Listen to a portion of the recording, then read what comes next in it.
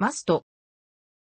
マストとは、小舟の甲板に帆を張るために立てられた垂直棒のことである。日本語ではそのままマスト、あるいは帆柱と訳す。帆柱の漢字で表記することもある。軍艦でマストが発展した鐘楼や上構え、セールと区別するため、信号章という故障が使われる場合もある。マストの構成は、船のサイズなどに従い、大きな船ほど多くのマストを持つのが一般的である。一本のマストは19世紀中頃までは、針葉樹の木材一本で作られていたが、船が大きくなるにつれて3本程度の木材をつないで一本のマストを構成するようになり、19世紀には中が空洞の鉄製のマストも登場した。シップ型に代表される3本のマストを持つ小舟のマストは前から順にであり、その他の船のマストの命名はこれに従う。一般化はされていないが、4本以上のマストを持つ場合は以下の名称となる。5本以上のマストを持つ小舟は数多くないが、もし一般化するようであれば、特定の呼び名は付けられず、何本目と数えられると考えられる。なお、マストの数は最高で7本のものが建造された。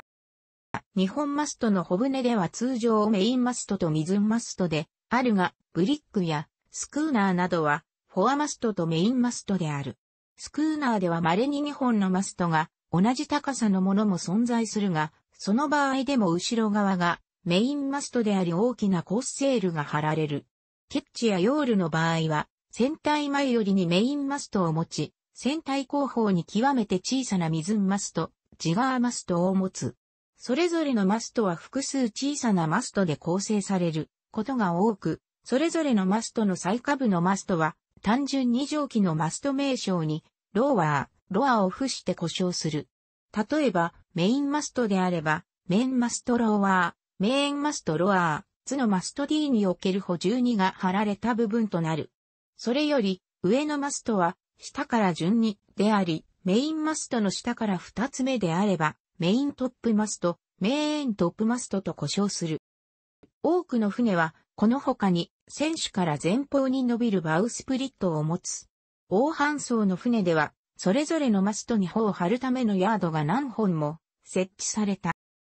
複数のマストを持つ帆船という概念は、船の速度や操作性の改善のために、地中海北部の地域で生まれた。フォアマストの存在は、紀元前7世紀中頃のエトルリア人のピュークシスや、紀元前6世紀のコリントスのクラテールで確認することができる。フォアマストは、ローマ海軍のガレーで、一般的となったが、形状は大きく前傾しており、バウスプリットと同義であり、推進力を得ることより舵取りの補助として使用された。メインセールと上にトップセールを貼る構造は、ローマ帝国時代の大型遠洋航海貨物船で発展した。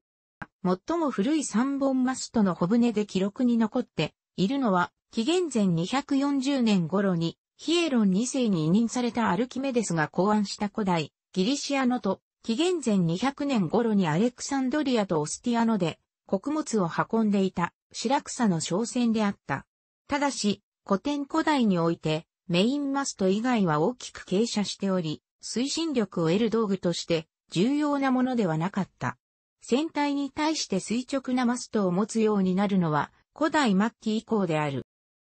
中世前期になると地中海航海において搬送形式は大きな変化を迎える。ギリシア文化を受け継いだローマ文化圏では古代文明で使われた後14世紀まであまり使われなくなっていた重版が再馬した。日本マストにラテンセールを持つ東、ローマ帝国海軍のデュロモイは船体中央に12メートル、後方に8メートルのマストを持っていた。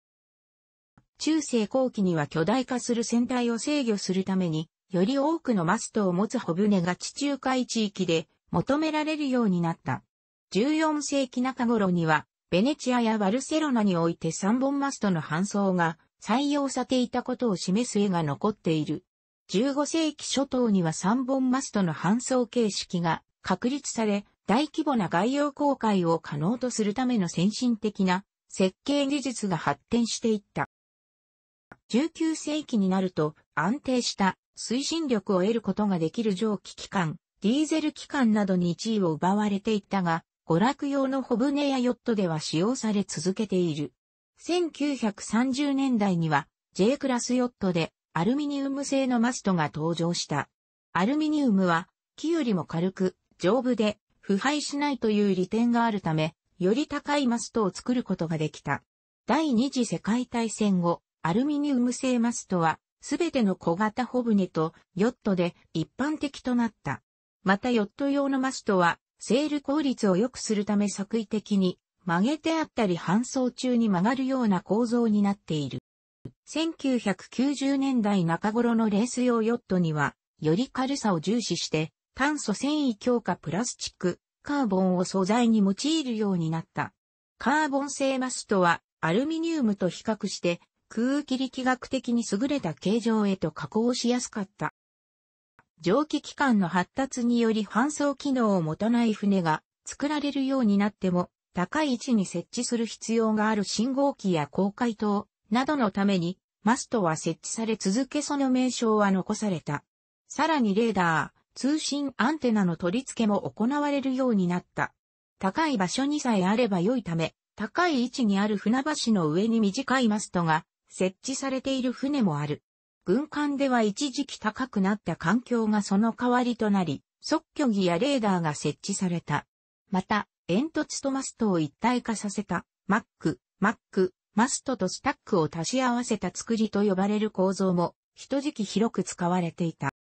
ロールバッハ金属飛行機の設計した一部の飛行艇には取り外しできるマストがあり、着水後に帆を張ることで低速ながら搬送が可能だった。楽しくご覧になりましたら、購読と良いです。クリックしてください。